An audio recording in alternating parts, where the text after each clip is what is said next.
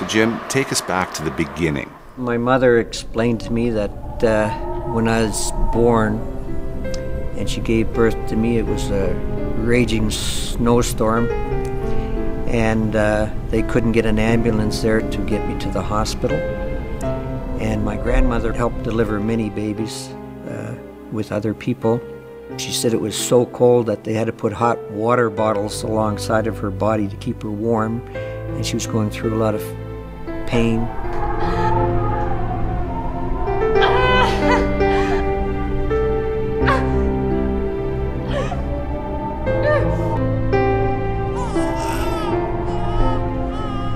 It's a boy. She said that my uh, father was really overjoyed.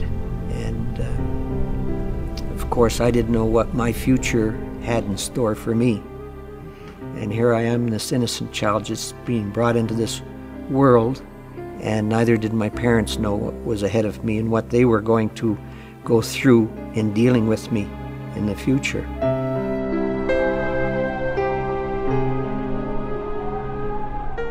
And of course, the circumstances unfolded in a lot of uh, negative ways in the future that affected me, had a traumatic effect on me, and had an effect on the rest of my family. Were you the firstborn?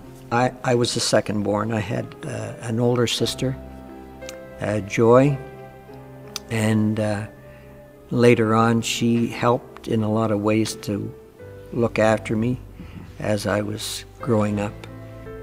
Happy family, mom and dad together.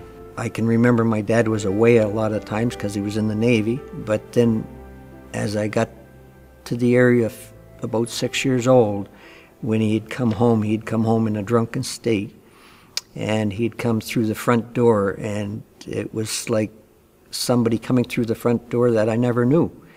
And he would uh, be very vulgar and in a rage. He'd scream and shout at my mother. Then there'd be verbal exchanges back and forth, and then he'd be hitting my mother and hurting her, and I would crawl behind the coach and cry, and uh, in fear. I didn't know what was going on and why he was hurting my mother.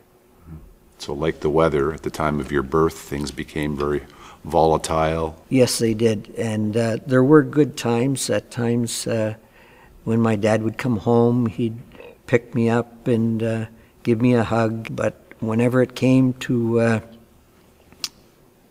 drinking, uh, it seemed that he would become this totally different person. And the next day, he wouldn't remember what his words were, and he wouldn't remember what his actions were to- towards the other members of the family. Mm-hmm. Alcohol came into the picture, Yeah. changed everything. Yeah. Yeah. It brought a lot of confusion to me at that very young age. My mother would just try to console me and say, Don't worry, Jimmy, uh, things will be fine. But uh, things eventually got worse, and I wanted to be somewhere else. Did they try to hide it at all from you kids, or was it out in the open? My mother, she was drinking also, and she would hide the fact that she was drinking.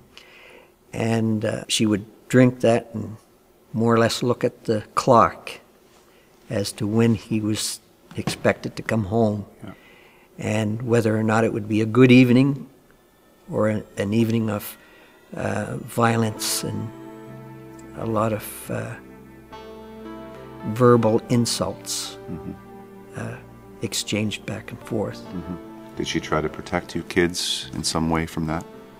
Yeah, she tried to protect us by sending us off to our room, but uh, no matter what part of the house we were sent to, we could still hear everything that was being said, and then we could hear the dishes being smashed, and we could hear her hollering.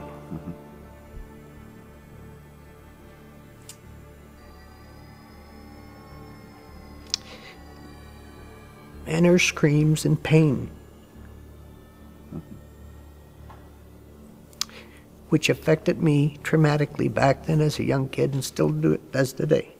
Give me an idea of how bad the domestic violence got for you at that time. Well, I'll relate to one incident where uh, my dad came home uh, drunk, Jimmy, that is a beautiful picture. It's us. And is that you? Mm-hmm. And who's that? You. And uh, he came into the kitchen area where I was coloring. What? Nothing. Where's dinner?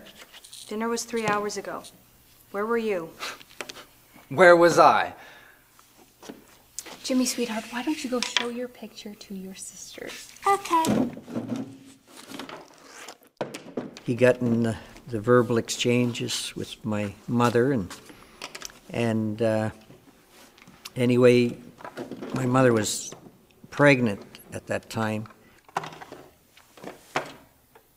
Leave it. I want supper. Let go. I'll go get it.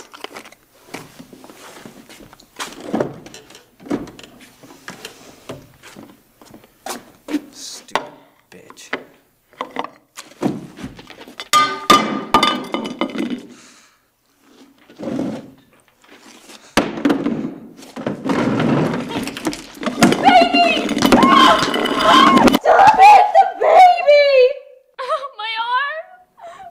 i uh, thought i'd never see my mother again when they took her out of the home. And uh, of course i ended up running away from home to go see where my mother was. I tried to locate my mother. I knew she was in a hospital. I went and asked the nurse and she gave me directions to what floor. I took the elevator up to the floor. And when i stood in the doorway looking at my mother. She looked at me and uh, Jimmy, what are you she was uh, surprised to see me and uh, more or less said, What are you doing here, Jimmy? I just wanted to be in her presence. And uh, we cried some, hugged each other. You can't be doing this, okay? You can't keep running away. It's too dangerous. I worry about you. Jimmy, I'm gonna have to call your father. He'll come get you. No. He'll beat me for running away and coming here. And of course, eventually my father appeared, and then he took me home. And uh, of course, I got my beating and told not to be r- running away anymore. And when he came after you, how did that feel? It wasn't un- until uh, they were told that I wasn't attending school and uh, I was being a truant. I was stealing things, fighting with other children in the school, and I would fight whenever I was teased uh, because I had a learning disability. And my father and mother didn't understand this, that I had a learning disability. And uh, when he was told about it, he'd say, Come with me, son.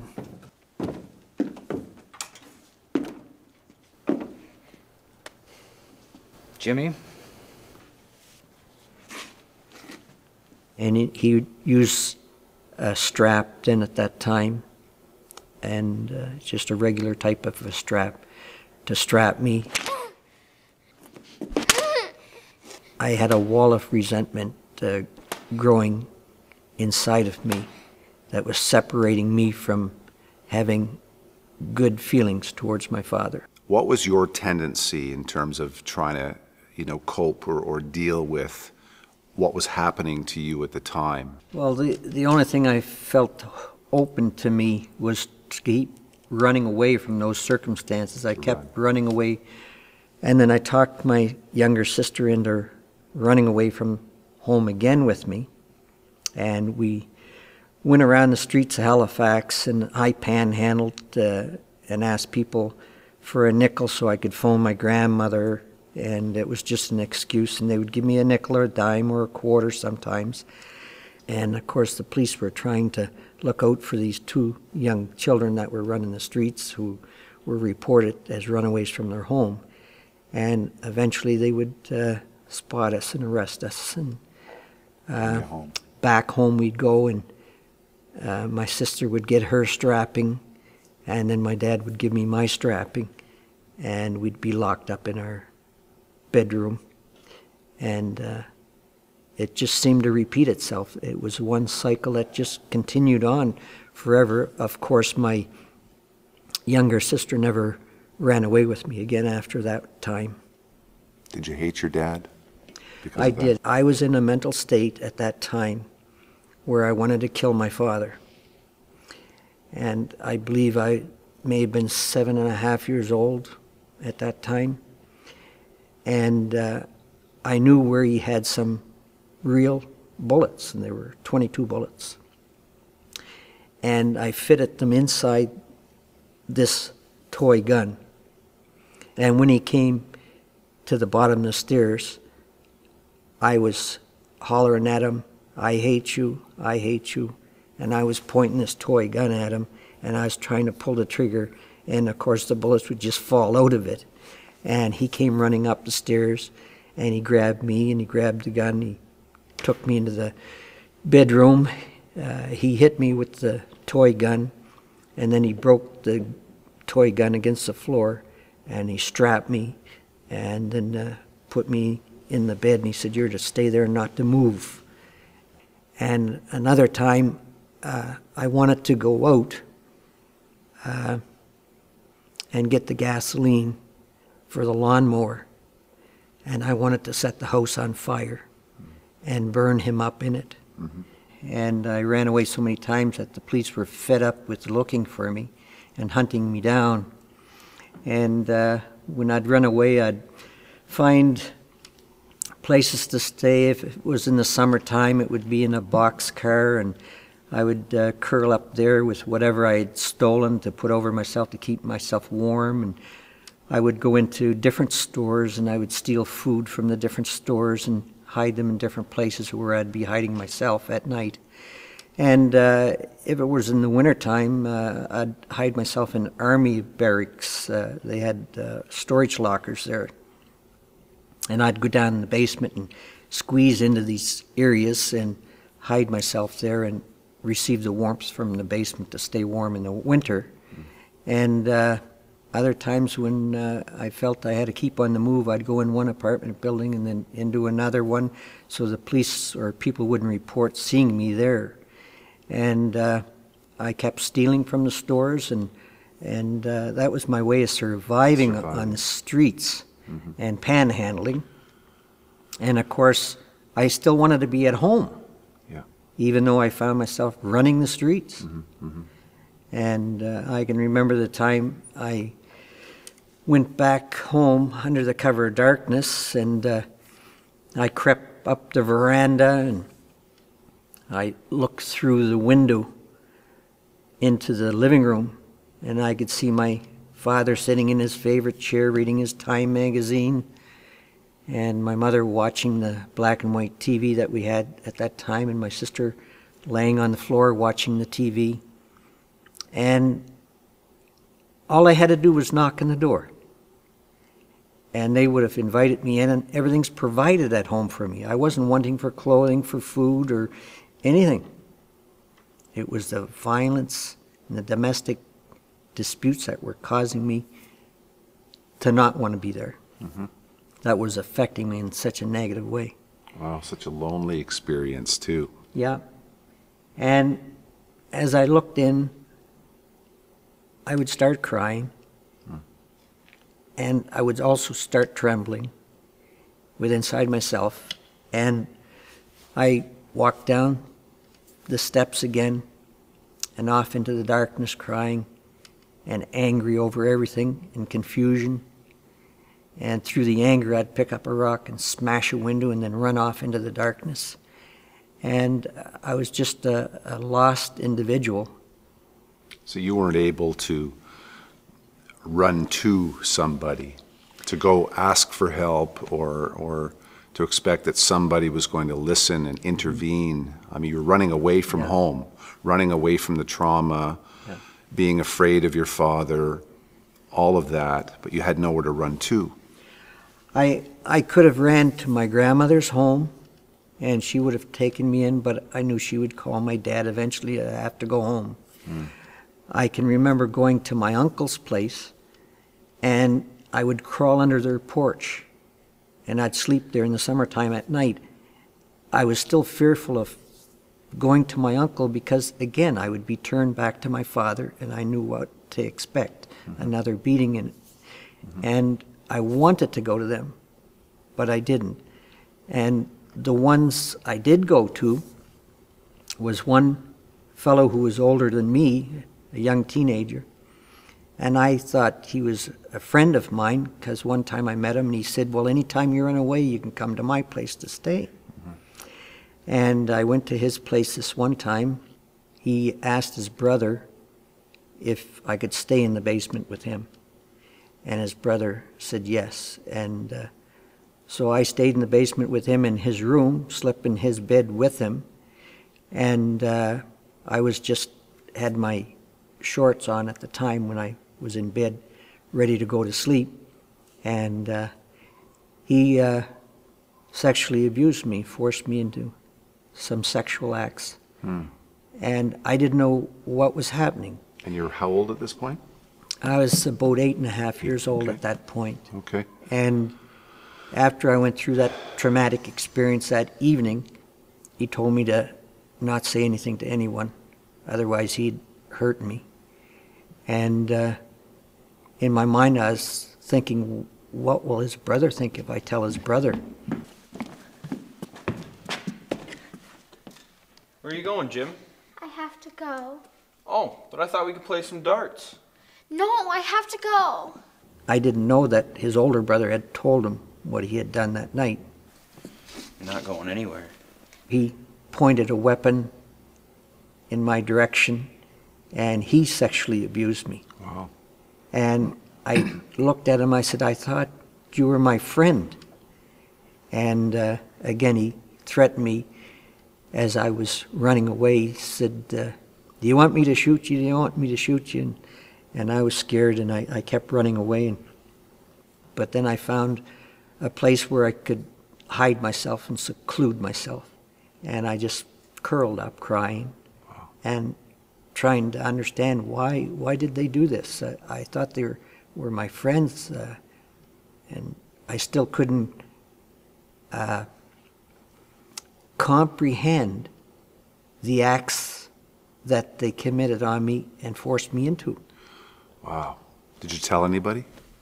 I was scared to, and I thought that if I told my father, he wouldn't believe me, and if he did, he would want to take me back there, and I would have to face these people. And I was just too scared. So I, I just kept it to myself. To yourself. Yeah. Yeah, I felt uh, uh, dirty. I, I felt ashamed, and I felt that uh, more or less like like I wish I had died because I didn't feel life was worth living because everything was so negative and all I felt was pain, and I, I didn't feel much happiness in my life. And uh, I had within inside of me a sense of I can't trust older people anymore. Yeah. There was nobody in the community I, I knew that I could turn to. Mm-hmm. And uh, so I kept running the streets and panhandling and mm-hmm. stealing until it got to the point where I was brought before the courts mm-hmm. on a number of charges. So you buried all those experiences inside yourself. Never felt you could trust anybody enough to feel safe to bring that out. No, What happened next in terms of how your family was able to deal with the circumstances and you running away, having trouble in school, and all of that? my father said he seems to have tried everything with me and nothing works. And he set me down with my mom in the kitchen, and they said they were going to take me to a place where I could stay there for a while. And if I stay out of trouble for a little while, then they'll bring me back home. And they said it was an orphanage. And I didn't understand what an orphanage was. But it was a long drive from Halifax to Truro. They drove up a long driveway, and there was this big red brick building. And uh, I didn't want to get out of the car. And my father opened the back door, and my mother grabbed a hold of my hand and said, Come on out, Jimmy. Don't be scared. And I hung on to my mother's hand while we walked up these big cement steps into the orphanage area. And there was a woman greeted us there. This must be Mr. and Mrs. Cavanagh. Mr. Cavanagh, Mrs. Cavanagh, and this must be Jimmy. Shake the lady's hand, Jimmy. Everything's going to be fine, Jimmy. You'll enjoy staying here with the other children until it's time to go home again. You be a good boy, Jimmy. And do what they tell you. And I didn't want to let go of my mother's hand.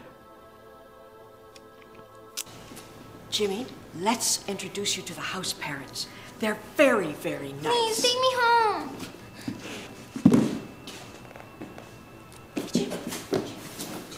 All right, you. We'll send money. So you can go to the movies and buy candy. Please, don't leave me. Please. Margaret, we have to go. Margaret, we have to go. Please, don't leave me here. Please. No, please, please. No, please. Please. Please. And then they enrolled me in a school. And again, my disability was still affecting me. The teacher would explain different stuff. Opportunity. When opportunity not, I was hearing what the teacher was speaking, Can you spell dumb? but I wasn't comprehending it. empty. The room was empty. And other kids would tease me. Empty. When people would tease me, I would react. I would fight back. Empty. Your head is empty. Did you just hit him? She phoned my dad and said, uh, you know, he's getting in fights and having difficulty in school. I'm no snitch. And finally, I made up my mind that I wasn't going to stay at the orphanage anymore. You think you're smart. Come with me to the principal. Let's see how smart you are then. Then I got up early one morning and I just ran away from the orphanage. You came home? How, were- how were things after that? Of course, it just started the cycle all over again. So you weren't understood at all. I mean, you're trying to get away from the dysfunction in the family, mm-hmm. but are made to feel like they think you're the problem. Yeah. In my little mind, I was saying, I know my mother loves me. Yeah. I know my dad cares for me. But I, I can't understand why he beats on my mother. That's why I act this way. But due to all of the trauma going on in that home environment, mm-hmm. It compelled me to run to the streets. To be like in a cocoon by myself, Yeah. away from everything that was affecting me. And yet, the only way you could survive on the streets was to steal. You started to draw the attention of the police. You started to uh, have to answer to some charges. Jim, come in here.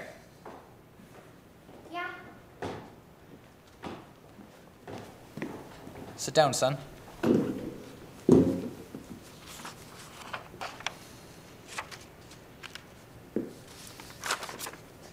Do you have anything to do with these charges, son? Jim, did you have anything to do with these charges? I don't know. I know I did some of them. I don't know what to do with you, Jim. Anyway, he said, Well, you're got to go before the courts. I was 10 years old when I was brought before the, the judge, and uh, my father, he uh, told me before he took me in to see the judge, he said, When you go in there, you're to say yes, sir, and no, sir, and that's it. I've tried everything, Jim, and that's what I'm going to tell him. Boy, you are charged with numerous offenses. Break and enter 15 boxcars of CN Railway, theft, vandalism to conduit pipes at Northern Electric, break and enter St. Philip's Church, break and enter St. Andrew's Church. Is this true? Yes, sir. You were on probation when some of these offenses occurred. Yes, sir. I read here you would not cooperate with the police, refusing to name your accomplices. Mr. Cavanagh, Your Honor, I have tried everything with Jim. Taking him to psychiatrists, beating him, involving him in sports, Cubs, YMCA, swimming. Nothing's worked, Your Honor. Maybe the courts can do something with him. well, in light of the facts before me and what you have said, the court has no choice but to send you to the Nova Scotia Reform School. And entering the Shelburne Reform School, the counselors were very uh, rough and brutal with us.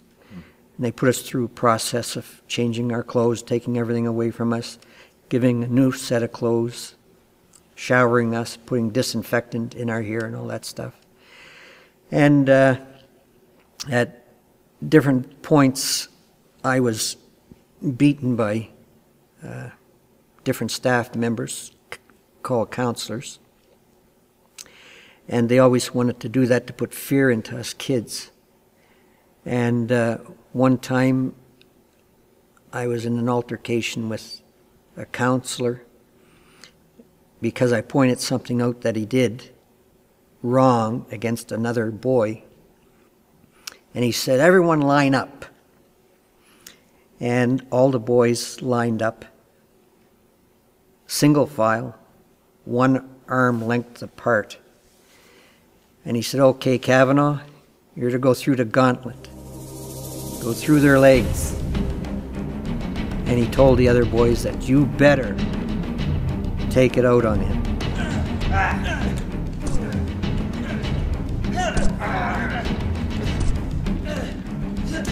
And of course, some of the ones that liked me, they hesitated on how they would hit me. And uh, when I finished getting through the gauntlet, the counselor said, I saw some of you didn't hit him properly. You were holding back. And he said, You're to go through again in the games room. Mr. Burton would get these steel chairs, and you'd hold the chair out like this. And of course, the chair gets heavier and heavier, and as your arms go down, he would come up and hit you and get the chair up there again, and you're trying to hold it up, hold it up, and then it's going down and down, and he would use either a stick or a coat hanger or whatever he wanted to use to whack you across the back of the thighs or the calves. And before I could turn around, he had grabbed me on the back of my neck. And I was just a little tiny kid, skinny. And he says, I'm going to teach you to be a good boy. And I tried to struggle to get out of his grip that was hurting my neck. And he pulled his zipper down on his pants. And then he forced me into a sexual act to perform on him. And he, afterwards he said, uh, If you be a good boy, I will give you gum and some cigarettes and candy bars, and you'll be good like the other boys are. And I went downstairs into the, what they call the games room or common room. And I went down to the farthest part of the room and I sat down on the floor with my back against the wall. And I pulled my knees up and wrapped my arms around it. One of my friends come over because he could see I was crying. I said, He had sex with me. He's a sick bastard. And uh, it wasn't long after that, of course, I ran away. And I got many beatings after that in the reform school, and I wasn't the only one. There was a lot of other boys that were abused. You ran away yet again from reform school. Tell us about that. Which time? Because I, I had run away over 42 times. I escaped out of their cells and stole cars and boats and all kinds of stuff for to get away from that area. But it eventually brought me before the judge over all those escapes. Uh, I was age 15 then. And the juvenile court judge wanted to send me back to the reform school.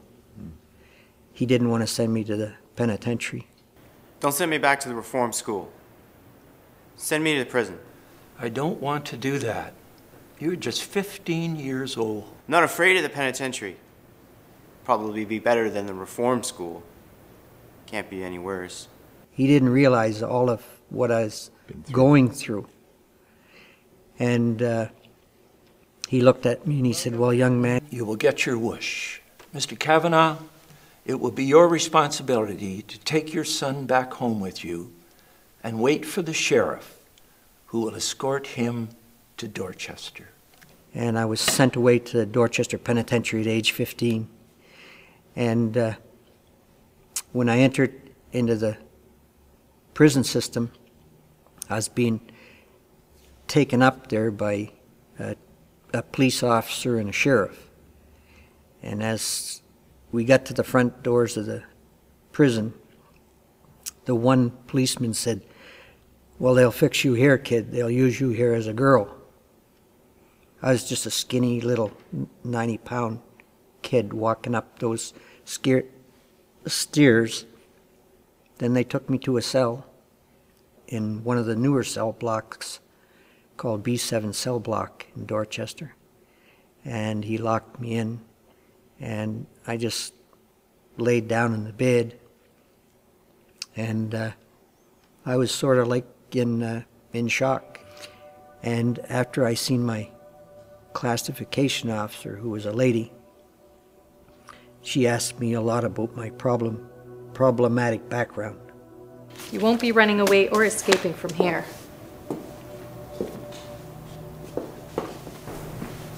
James, you've had a troubled life and have caused trouble for many people.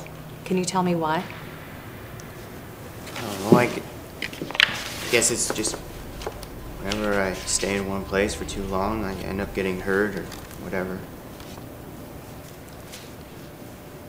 I don't know. When I mean, when I was young, I got molested and beat up, and in the reform school, it was no different. I was I was beat so many times, and the counselors, even they were beating me, and they molested me. I don't know. I just I had to do something about it.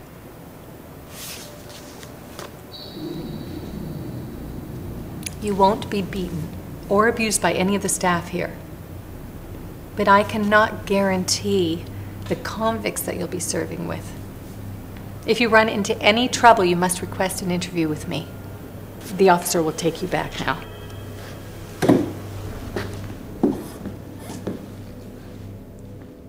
and I was taken back to my cell. And uh, again, I was scared, and I went before a work board. And the work board, because of my grade four education, uh, they said you're going to be assigned to the school area. And uh, when I went to the school area, it wasn't long.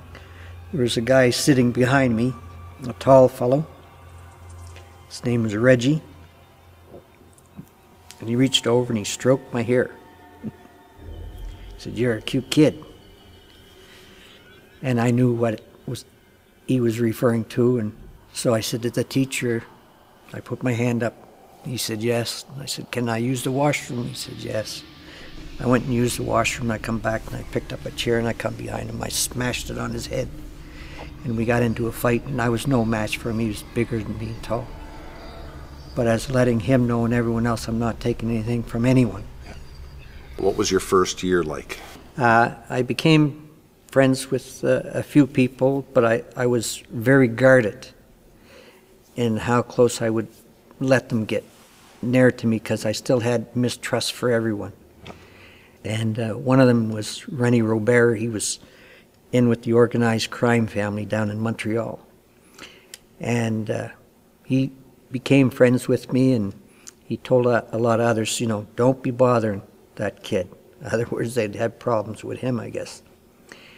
And uh, another fellow that I became friends with was Ernie Hollins. He was trying to escape all the time, and and he said, "Kid," he said, uh, "it's going to be tough for you here in prison because of your age and you're young. But if you have problems, come and let some of us guys know about it. And we'll see if we can't step in and, and stop it before it gets out of hand. And uh, Ernie worked in the kitchen at that time, and uh, he was always trying to escape. And I looked up to him, and I'd listen, sit there and listen to some of the stories. I became fascinated uh, with these stories over bank robbing banks and getting away, and the chases and that. And uh, then when Ren- Renee would tell me about how to take down safes and open them up and the tools you needed, I became fascinated with that. And then the next person that I talked with there, uh, he was very clever on opening locks. And he showed me the lock picks and he said, This is the material you make it out of, and this is how you shape them and so forth. And then he'd show me lock. Now, you do this and this, and next thing you knew, I knew how to pick locks. As time went on, uh, these were the people I socialized with in that prison setting. And uh, I started taking pride in myself that, hey, I'm learning what they know, you know. I can use this when I get out. I was coming up for parole, and there was one old timer. He told me, he said, Jim. Just don't get your hopes up. Some guys, it really messes them up when they don't get it. And he said, if you expect nothing, you won't be as disappointed. He says, because there's guys in here who've been turned down for parole. And after they've been turned but down for parole, they went back to their cell and they slashed their arms up. They've hung themselves. They've smashed themselves up and gone into the hole and spent months in the hole. and I never had, never ever forgot that. There was a friend of mine named Gordy who I'd become very close friends with, and we wanted to escape and go rob some banks in Montreal. And I told him I'd escape with him. And, that. and Gordy was a lifer and a really nice guy. And it was about a, a week or so after that, after we talked. Kid, I have something to tell you. You're not going to want to hear it. Gordy hung himself last night in his cell. Gordy?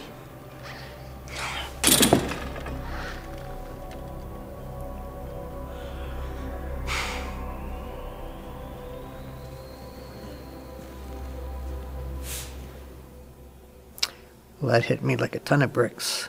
I just, uh, because those in prison became my family, those who I became close to. I was devastated.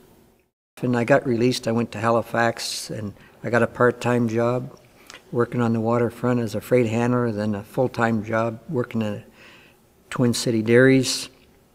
But then there was a detective who kept stopping my car and searching it and harassing me. And eventually he told the uh, uh, person, the personnel manager, Mr. Stockley, at the uh, dairy about my record.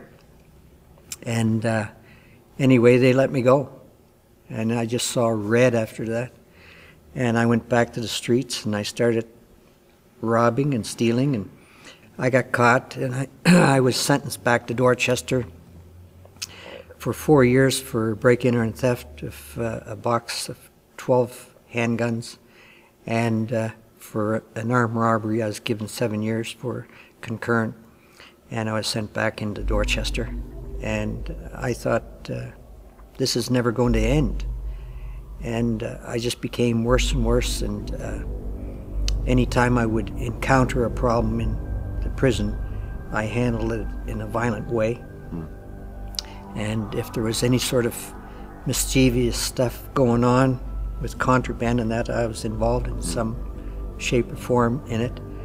And uh, there was a fellow prisoner in there who was a friend of mine, and uh, it seemed like every day he would keep harping on this informant who told on him in court and had him sentenced to the prison for his offense.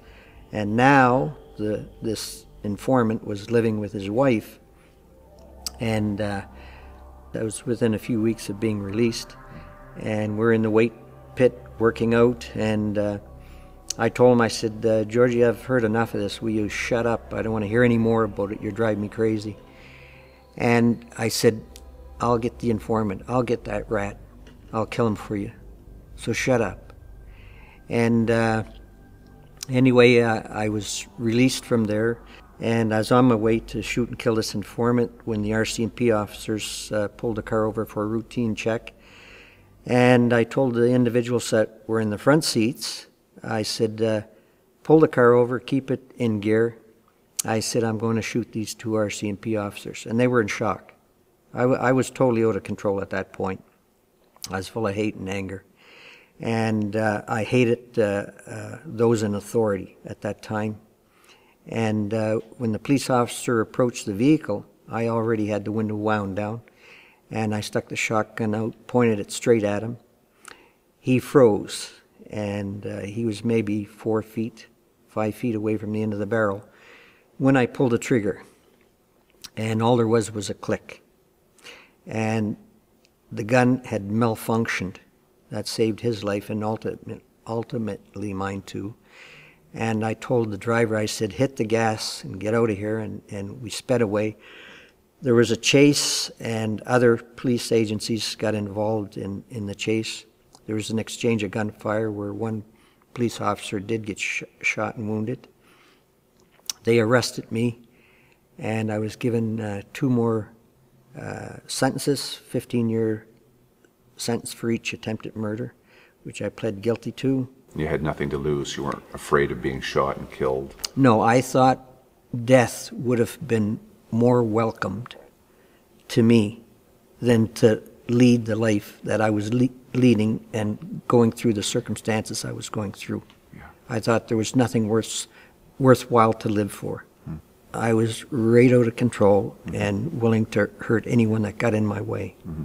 And two weeks later, I escaped when they were taking me in for a court appearance uh, on behalf of uh, one of my co-accused who was charged up on the charge. I told him, I'll take the charge. Just put a subpoena to get me out so I can get a chance to escape. And I escaped on them, and I was on the run for two days through the woods. And uh, they had a helicopter uh, after me and a, a plane, RCMP German Shepherd tracking dog. And I would backtrack and uh, on my tracks and uh, throw them off the trail. But they spotted me uh, when I was near Moncton. I was given two more years for the escape, and I was taken back to Dorchester until I was transferred from there to Millhaven Maximum Penitentiary in Ontario. Okay, so you went back to jail to serve a long sentence, being charged with attempted murder of police officers. So back in you went Yep. for a long haul. And at Millhaven, uh, I found it to be a totally, totally nut house. Everyone was in altercations with each other. They were beating each other with steel bars, stabbing one another, cutting their arms up, uh, slashing themselves, hurting themselves. And I knew that I had to be very violent to survive in that setting. And uh, I had different altercations, which I came out on top on. And in one situation, uh, there was a, another young prisoner on the same range as I was. And when I came onto the range, I went by his cell and I said, Hi, Det, how are you? And I was expecting, not too bad. But as I went by, there was no response. Det, what's wrong? Did you get some bad news from home? Listen, Det, talk to me. What's wrong? Uh, Jimmy, do you think you can um, get me a knife? Yeah, I can get you a knife. Good. Thanks. What do you want it for? I got some problems I need to take care of. What kind of problems? I keep getting hassled for sex. That guy Dave forces me to have sex. I'm gonna stab him in the back. No, you're not, Dad.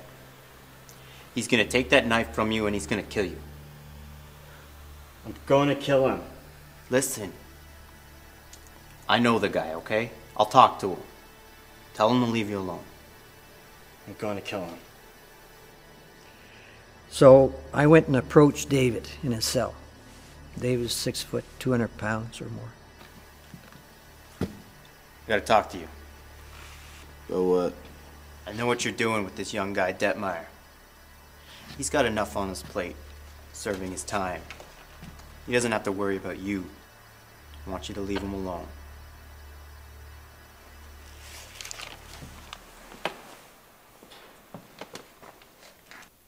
I'll do what I want. I'll get out of my cell. So now it's personal. And that made my blood boil. I was just. I wanted to act out right there in the cell and fight with him right there. But he had his weapon drawn on me. I said, okay. And I backed out of the cell. And I went and got a weapon. And later on, I came back. I went into his cell, and the knife was still in my pocket with a handkerchief around it. And I killed the man, and I didn't care. And I didn't have no feeling about it whatsoever. I just took the man's life and uh, exited his cell, got rid of my clothing.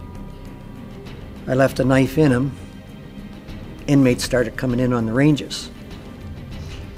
And there was one young guy that had just been transferred in there from Warkworth Institution for running away from there. And uh, his cell was directly across from the deceased, David. And when he came to his cell, he looked over and he seen the dead body on the floor, and he went into shock. That big guy's dead. These things happen in prison. You just gotta mind your own business. And then there was a big investigation. And eventually, this kid pointed at me and accused me and the other guy who threatened him. And he said that he saw me kill the guy and that the other guy was present. And it was false. There was nobody there. And later I went through a trial and we were both found guilty, both given life sentences. I was transferred to Prince Albert. He was transferred to a prison in Quebec. But when I went back on a new trial, because they didn't have enough evidence, I uh, was told by my lawyer that the Crown thinks I'm crazy. I was in for two attempted murder charges, the shootout with the police, and so forth. They never ever want to see me in society again. And I said, "Oh, they." He said that I was crazy. He says, "Yeah." I said, "I'll tell you what. I'll make a deal. I'll plead not guilty by reason of insanity at the time. If they drop the charge on the co-accused, then they'll own me for the rest of my life." And they went for that deal, and uh, I was found not guilty by reason of insanity at the time. And uh, I was supposed to go to Penetanguishene for the criminally insane, but instead, they got special permission to warehouse me in Millhaven in a range called the Special Handling Unit. And that was designated for those that they considered the most dangerous prisoners from all the maximum prisons across Canada whether they be high escape risk, danger to staff, or danger to other prisoners. Mm-hmm. And that's where I found myself in the special handling unit in Millhaven. For years to come. Yeah. Wow. How did you live with yourself after that experience? Again, I was, I was still in a state where I didn't care if I lived or died. Yeah. If another prisoner killed me, it wouldn't have mattered. And if another prisoner bothers me, I'm going to put them in the hospital or I'm going to kill them, and I don't care. And that was the frame of mind I was in. Then one Christmas, I received a Christmas card, and when I opened it up, a business card fell out of it, and I picked it up and I looked at it, and it said, Ernie Hollins, Christian Witness. I said, Ernie Hollins? I said, I know Jimmy Hollins, my friend Jimmy. I said, I knew in Dorchester when I went into Dor- Dorchester when I was 15 years old. My friend, the bank robber. I said, this must be his brother. Hmm. And I wrote him a letter back. Dear Ernie, thank you for the Christmas card. I knew a Jimmy Hollins. He was a good friend. He was chairman of the prisoners' committee. Are you his brother? Dear Jim, I am the one and the same person you knew in Dorchester. When I was in prison, I went by the name Jimmy, but my Christian given name is Ernie. I'm married to a lovely Christian lady named Sheila. I will see if I can get permission to visit you. This time when Ernie came to visit me and talked to me through the glass at the visiting booth, when the guard escorted me down from the special handling unit, Have a good visit, Captain.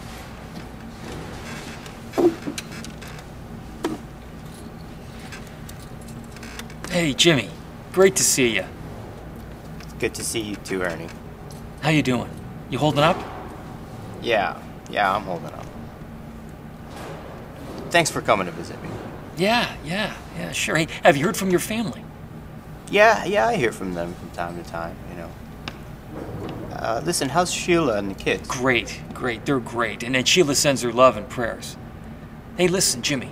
You know, I'm on my way to Bermuda. You know, I'm going to attend a full gospel businessman's meeting. And then I'm going to go to a prison just to tell them how Jesus Christ changed my life. Bermuda, eh? Listen, send me a postcard. Oh, I will. I will. Yeah. I'll hang it up in my cell. Great. Uh, listen, Jimmy, can you do me a favor? Sure. What is it? Would you pray for me? Pray? Yeah. Yeah, would you pray for me? Would you do that for me?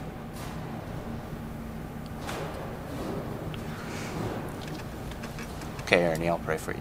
Great. Good. You know, Ernie, you've changed a lot. Praise the Lord. I am a changed man, and you can be too, Jimmy. I don't know about that. Jimmy, do you mind before I go? Can I pray for you? Okay. Lord God Almighty, take the hand of Jimmy and minister him spiritually and physically, and keep him safe from harm in the name of Jesus Christ. Amen. God is with you, Jimmy. I know He is. God's with you too. And remember, Jimmy, always remember, God loves you. And Sheila and I love you too. Okay, Captain. Time's up. But I'm from the old school where you give your word to a friend, you keep it. So I said, Yeah, Ernie, I'll, I'll pray for you. So the guard escorted me back to the special handling unit, and that night, after the guard made the last round, I watched through the slot in my cell door, and I heard the barrier close. I kneeled down by the side of my bed, as my grandmother used to get me to do when I prayed when I was a kid. Dear God, watch out over my friend Ernie. Be with him as he travels to Bermuda. May some of the prisoners there listen to what he's got to say. Watch out over his wife Sheila and their kids as well. Amen. But one night in June 1978, I can't tell you the date because I was too shook up. After praying for everyone else, I said a simple prayer for myself. I said, Lord, forgive me for my sins. Give me the strength, patience, and wisdom for to get through each day. Amen. And I had a warmth that went through my entire body, and that shook me up. Mm-hmm. An internal warmth. Mm-hmm. And I sat in my bed trying to analyze it, saying, What was that I experienced there? What was that? And then after thinking on it for so long, I said, I'll find out if it happens tomorrow night. So the next night I prayed for everyone and I said that prayer again. Lord, forgive me for my sins. Give me the strength, patience, and wisdom for to get through each day. and I had that warmth again. I broke down and I cried that night. I cried just like a little child. And I believe God took that heart of stone out and put a heart of flesh back in. Mm-hmm. But I still couldn't understand it. I, I, I, I couldn't comprehend what was happening. So I said to myself, I'll find out if I experience it the next night. I, I refer to it as the doting Thomas experience. I, I went back the third night on my knees and prayed, and I didn't receive that warmth. Then there was a voice in the back of my mind, just like I'm talking to you, but it was in the back of my mind, said, You're going to lose your friends. No one will want to speak to you. People will think you're going crazy. And I, I think that was the voice of the enemy trying to get me to not take or accept what I experienced the two previous nights. But I got the attention of my friend in the next cell, Eddie. Eddie. Eddie. Yeah, Jim? I gotta tell you something. What's going on? This friend of mine asked me to pray for him. I told him I would, so I did. You know, the first few nights I just prayed for him, and the third night I I prayed that God would forgive my sins and to give me the strength, patience, and courage to get through each day. And then this uh, warm feeling came over my whole body. I didn't really understand it. Are you, uh, you going sideways on me, Jimmy? No. I said, No, Eddie. I said, I'm not going crazy. I don't understand it all, but there's a spiritual experience that I've experienced. And I said, There's a spiritual reality that's there that exists. I said, I don't understand it all. And I said, uh, I said, I believe that God is trying to reach me.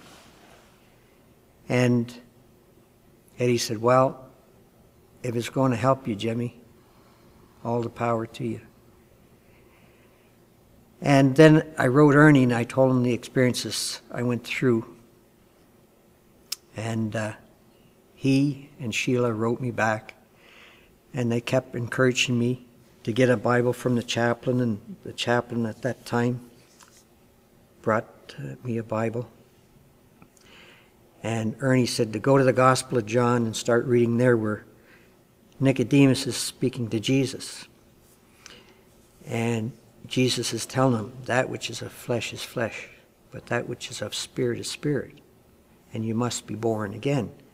And he was trying to get across to me this born again experience. And I still couldn't understand what he's talking about. But as I read the scripture, I was starting to understand. It was being revealed to me. Being born again within sight of you and having a new spirit, a rebirth on the inside. And uh, as I read God's word, He revealed more and more to me. And uh, it came to the point where I stopped being involved in violence, I stopped substance abuse, and at that time I was the conduit for all the contraband getting into the special handling unit. And I told the other guys, if you guys want it, here's the avenue, you take it, I got nothing more to do with it. And the prisoners watched me week after week, month after month, and they said, what's happened to Jimmy? He's not having to do anything with what's going on here. And if they wanted me to share with them, I would share with them and tell them my experience and what's affected me. The guards thought it was a game, of course. And then a year later, I suffered an aneurysm in my back. Hello, Mr. Cavanagh. Nice to see you again. Well, Jim, the x rays show there's something in your spinal column. We need to do exploratory surgery to determine exactly what it is, but my best guess is that it's an aneurysm. the surgery will fix it? I, I can't know that for certain, Jim, but we need to do the surgery right away. Uh, I'll book it. After coming out of the operation and the doctor telling me I'd never walk again, I'd be bound to a wheelchair or a bed for the rest of my life, I cried out to the Lord in prayer and I said, I, I don't understand this, Lord. I was already in prison for the rest of my life. Now I'm imprisoned within my own body. Why? And I prayed and I said, Lord, you know I want a wife and family before I leave this earth. Restore me. And humanistically, it looked like an impossibility. But uh, I kept praying and kept working at it. And it took months after they put me in Collins Bay Institution to get from the wheelchair to walk so many yards with the canes. And then at one point, uh, another prisoner by the nickname of Meatball, Jimmy Mete, he was pushing me out to the exercise yard. Well, there you go. Thanks, Meatball. No problem. Hey, Meatball. Yeah. How long do you think it is around the big yard? About a quarter mile. Maybe one day I'll walk it. I hope you do, Jimmy. See you later. As Jimmy was walking away, a voice in the back of my mind, just like I'm talking to you, said, Why not now? And I obeyed that voice. I pushed myself up out of the wheelchair, anchored my two canes, and I started walking one step and another. It took me 55 minutes to make that circuit and fall in the wheelchair soaked with sweat and pain and a lot of hurt. And I said, Thank you, Lord. Thank you, Jesus. Thank you. And I continued on in my walk of faith. And I got to the point where I could walk with one cane at one point. And of course, I was also eligible to apply for parole for release. And I applied and was denied. I was applied and denied. And I still had that desire to someday be released to society and hopefully have a normal life, but it still looked like an impossibility. But the day came, God appointed the, the day, and I went before the parole board, and they granted me what's called day passes under escort with a guard, and then so many months under the escort of a citizen escort, and then a day parole to a halfway house, then full parole. And uh, at that point, uh, I was readjusting into society and trying to uh, work at a shoe repair place and, and adjust to the community. Transformation. Transformation. All those years running away from, finally had something to run to. Yeah. Awesome. Only by the strength of the Lord. Awesome. Yeah. Okay, so you had this dream that you would be free, mm-hmm. get to the street, have a normal life, mm-hmm. opportunity to have a wife and children. Did it happen? Yes, if it didn't, I wouldn't be here, I'll tell you that. But uh, after uh, being invited to uh, Picton, Ontario to share in a tent crusade about my conversion, and uh, I was approached by a volunteer named David Cheese, who was a faithful volunteer every Sunday in Collins Bay Institution before I was released. He said to me, he said, I have somebody that you should meet, Jim. And I said, sure, David, and I didn't think no more of it. I went back to Sudbury. And, later on, he approached my wife, Shirley, and told her about me. And uh, she said, don't be bringing them around my house, David. And he said, well, I got a videotape where Jimmy's giving his testimony. Will you look at that? And she looked at that tape. And the Lord gave her confirmation within her spirit that it'd be all right to meet me. And uh, so she met with me at a restaurant. Um, When David first mentioned you to me, he told me that you were an ex prisoner, and I told him, don't be bringing him around my house. It was your testimony at that tent crusade in Picton. I felt in my spirit the Lord telling me that it would be okay to meet you. She felt comfortable with me because she knew other people in the church around who were volunteers going into the prison. And I asked her if I could write to her and if I could visit her when I come back to Kingston area, and she said yes. And this went on for two years. But I was still wondering how I was going to tell my father that I was dating an ex convict. I didn't know how he was going to react. How do you think I felt when you told me he was an RCMP officer? Like running? No. I stopped running.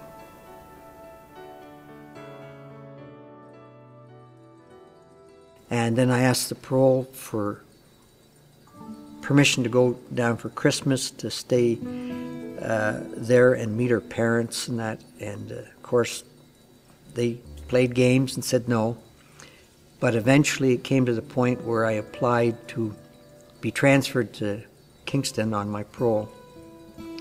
It was granted, and uh, prior to that, I had written Shirley a letter, and I enclosed a ring that I had bought in a jewelry store, and I asked her if she would marry me. And when I phoned her and I talked to her, I said, Did you get the letter and the ring? She said, Yes. And I said, What is your answer? And she said, Yes, I will marry you.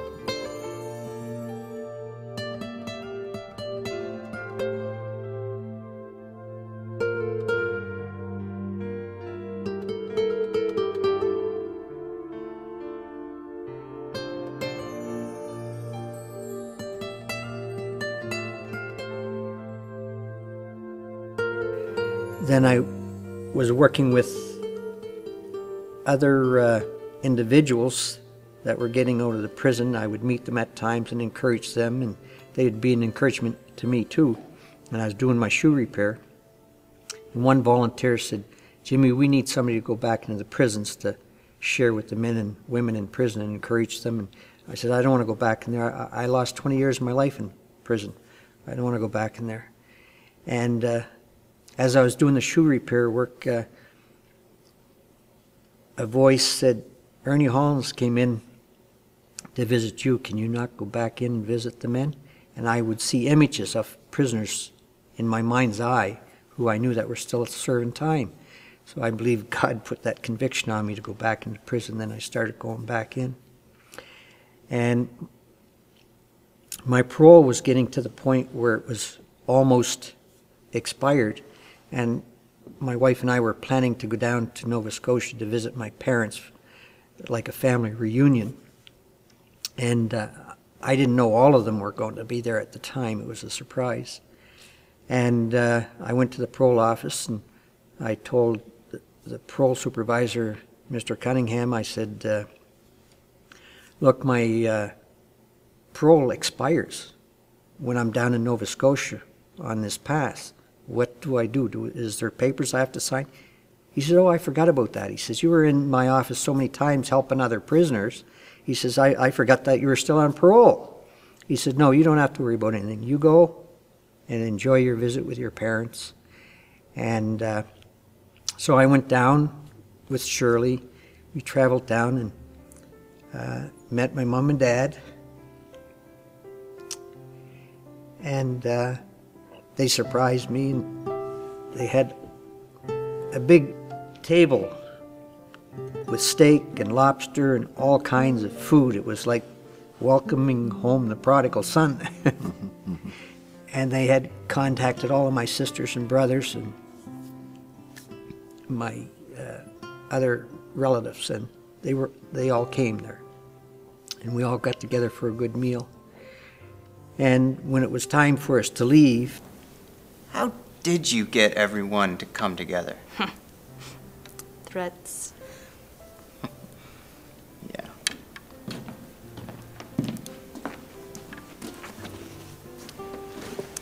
Did you tell her yet? Tell me what? The supervision on my parole is over. I want you to have this.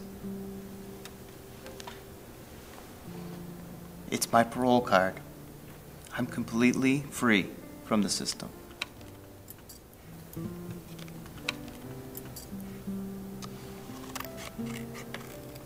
That's the end of that, son. So the beginning of this story uh, was a very sad one Mm. as it relates to family interaction, difficulty with your dad, and drinking, and all of that trauma in your early life. At the end of this story, uh, or, or much later on, uh, how, how, how did that play out with your parents and the, the uh, alcohol use, the, the family dynamic? Well, my father came to the point in his life where he finally gave up drinking. And my mother and father got along great and uh, raised the rest of the children until they left home. And uh, one of discussion I had with my mom over all the difficulties that happened in the past, one thing she said to me, she said, Well, son, I would never have wanted to be married to anyone other than your father. It was the alcohol that caused him to act out the way he did because your father has always been one of the kindest persons to me and you kids. It was that alcohol that m- turned him into a monster. Mhm. And uh, when I was in prison and getting letters from them, I was very happy to see that he had quit drinking alcohol and everything was fine in the family setting. And uh, but it it wasn't fine with me in the prison setting. Yeah. So long as I have breath within me, yeah. I'm going to share with those that are incarcerated in prisons that their lives can be changed mm-hmm. through prayer. Mm-hmm. Mm-hmm. God is just waiting for them to reach out to Him in prayer, as I did.